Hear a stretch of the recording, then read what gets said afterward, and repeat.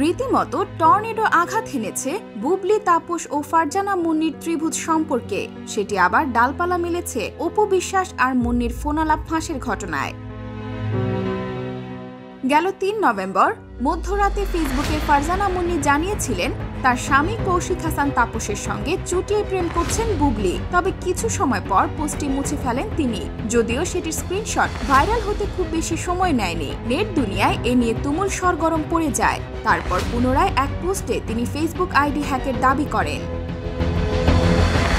তবে নতুন তথ্য হল, তাপস বুবলির প্রেম নিয়ে দেয়া পোস্টটি নিজেই দিয়েছিলেন মুন্নি। তার ফেসবুক আইডি হ্যাক হয়নি। অপু বিশ্বাসের সঙ্গে কথোপকথনের ফাঁস হওয়া একটি কল রেকর্ডে নিজের মুখে সেটা বলেছেন তিনি।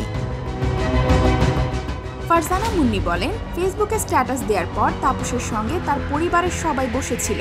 দেখো অপু, আমি তো এখনও সংসার করি। তাপস তো এখনও আমার জামাই। তারপর যখন আমাকে বলল, ফেসবুক আইডি হ্যাকের স্ট্যাটাস দাও তখন আমি এটা দিলাম। আমার কোনো কিছু হ্যাক হয় নাই। শুধু স্ট্যাটাসটা হ্যাক হয়েছে না, তাই না?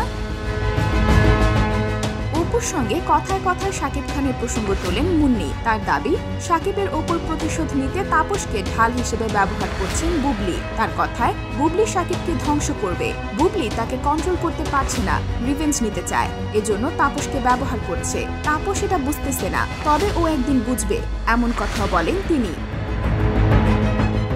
মুন্নি বলেন, বুবলিকে গান বাংলার গাড়ি গিয়ে নিয়ে আসে, আবার দিয়ে আসে। ও তাপসকে বোঝাতে চাচ্ছে, সাকিব আর তার পরিবার তাদের মিলিয়ে দিতে চাচ্ছে।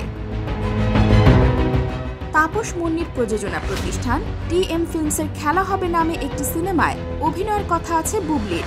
সিনেমার লুকের ফটোশুটের ছবি প্রকাশ করেন তিনি। সেই ফটোশুটও নাকি জোর করে করিয়েছেন তাপস।